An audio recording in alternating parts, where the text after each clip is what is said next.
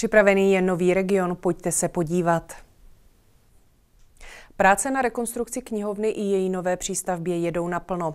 Postupem času se však ukázalo, že oproti původnímu plánu bude potřeba větších stavebních zásahů do historické budovy. Stroje a dělníci jsou i na staveništi kulturního centra. Tady ale prozatím není jisté, jak se bude pokračovat dál. Na pozemku kolem Rožnovské knihovny se v těchto dnech pracuje naplno. Pokračují práce jak na přístavbě. Eh, pokud se podíváte za mě, uvidíte, že už jsou hotové základové pasy pro celou přístavbu a bude nám teda zbývat vylití základové desky. Oprava a modernizace historické budovy ukázaly nutnost větších stavebních zásahů, než se kterými počítal původní plán. V rámci rekonstrukce staré budovy jsme nakonec přistoupili k odstranění starých stropů mezi prvním a druhým nadzemním podlažím.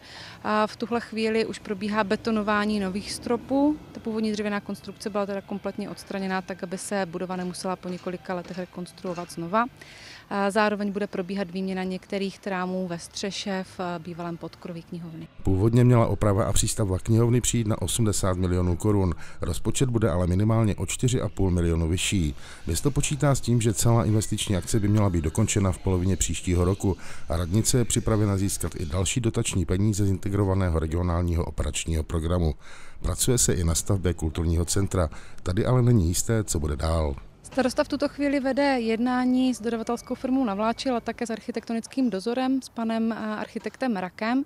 O průběhu těchto jednání jsme v minulém týdnu informovali zastupitele, sešli jsme se ve středu a o tom, jak se bude věc dále vyvíjet, je také budeme informovat. Nicméně vzhledem k těm probíhajícím jednáním v tuto chvíli nemůžeme říct příliš mnoho novinek divákům.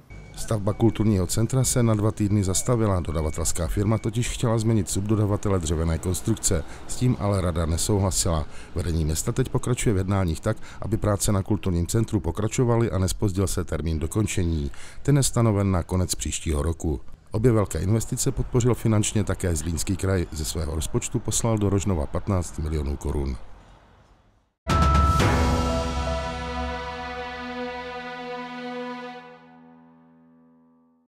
Léto, hry, zábavu v přírodě i spaní podstany nebo v indiánském TP. Vedoucí ze Zubří připravili pro děti i letos tábor v přírodě. Tentokrát ve stylu džungle, kde se bojovalo o přežití. Nástup na oběd! Prázdniny v přírodě si také letos užívali táborníci na louce ve Stříteži nad Bečvou. Po dopolední plném her si vychutnali jídlo v táborové kuchyni. Dnes mají děti frankfurtskou polivku s, s pečeným kuřecím stehnem a rýží. Zítra mají hladový den, kdy si budou vařit sami. Ve středu mají kuřecí řízek s bramborovou kaší a ve čtvrtek e, svíčkou s knedlíkem a drubeží vývar.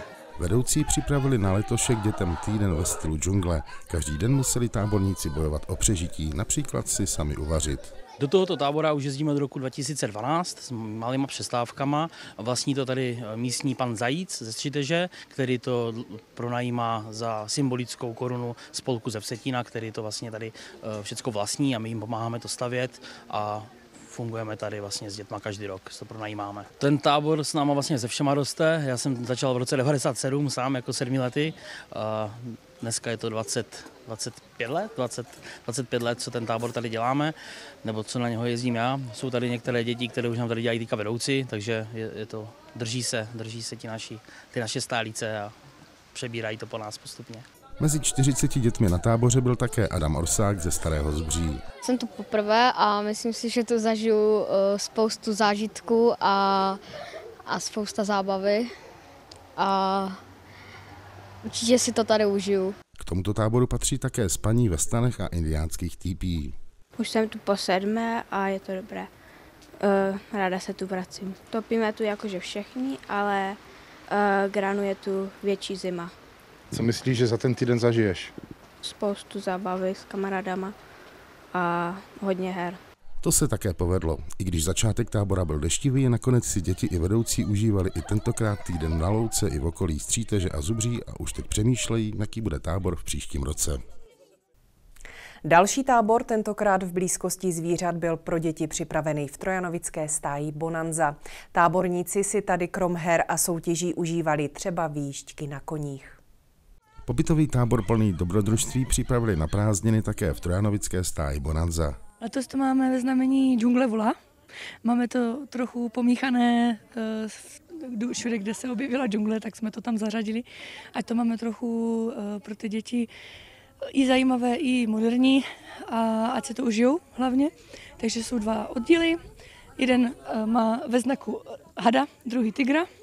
Takže se hezky rozdělili a už mají vlajku, už mají všechno.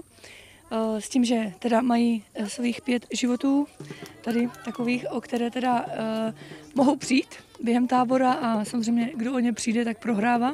A v duchu džungle byla i jedna z her, při které malí táborníci poslepu sestavovali nápis ze skládacích písmen.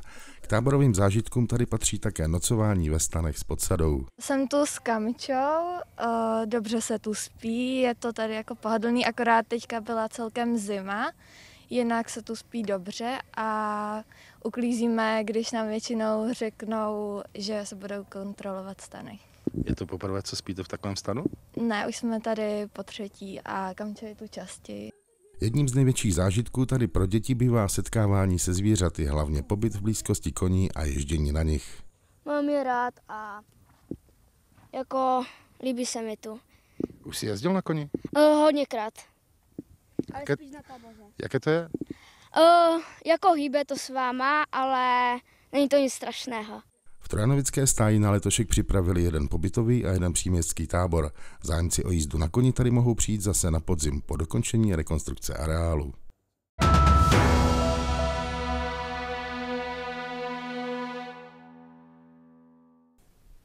Více turistů než v předchozích dvou letech zaznamenali také v Rožnovském turistickém informačním centru.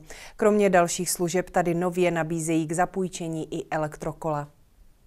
Turistů v Rožnově pod Radhoštěm přibývá, potvrzují to také pracovníci turistického informačního centra. Jde vidět, že lidé mají hlad po cestování po dvou eh, uplynulých eh, letech. V loňském červnu k nám zavítalo 1822 návštěvníků, v letošním roce je to 2123, což máme nárůst o, přes 400 návštěvníků.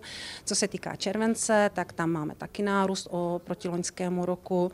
Eh, v loni nás navštívilo 4825 návštěvníků, letos už je to k dnešnímu dni 5345, což máme nárůst o 520 návštěvníků. Do turistického informačního centra přichází kromě Čechů nejvíce návštěvníků ze Slovenska a Polska.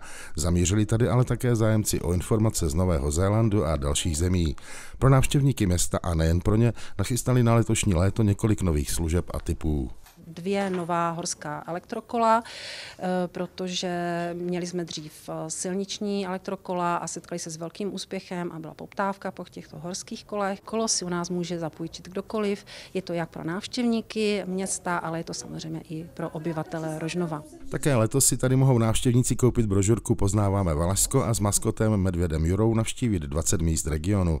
Po získání razítek pak odevzdat kupon do slosování o pobyt v některém z valašských hotelů a řadu dalších cen.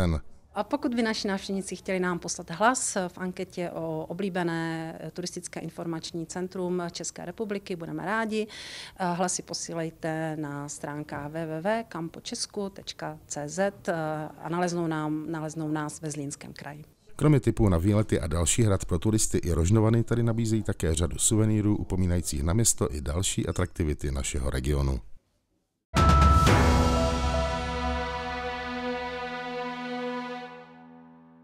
Město Rožnov pod Radhoštěm ve spolupráci s klubem seniorů, Spolkem rožnovských žen a radou seniorů připravilo pro seniory další soutěž. Tentokrát je to literární výzva, tedy pokud někteří seniori mají talent na psaní esejí, povídek nebo e, básní, můžou se připojit, zapojit. E, téma literární výzvy není omezené, je to na volné téma, ale speciální kategorii jsou povídky nebo básně věnované danému tématu e, Emila a Dany Zátopkových. Pokud někdo má takový talent a chtěl by se zapojit, může své dílo přihlásit a zaslat do 5. září na e-mail klub sen.rpr zavináčcentrum.cz a nebo potom fyzicky odezdat své dílo v senior centru 2. nebo 5. září. Literární výzva není první výzvou, kterou město pro seniory pořádá. Máme za sebou již výtvarnou výzvu, která byla vyhlášena v květnu a na podzim nebo na přelomu zimy nás čeká poslední výzva, což bude gastrovýzva. Je po zprávách, ty další pro vás připravujeme na čtvrtek. Na viděnou.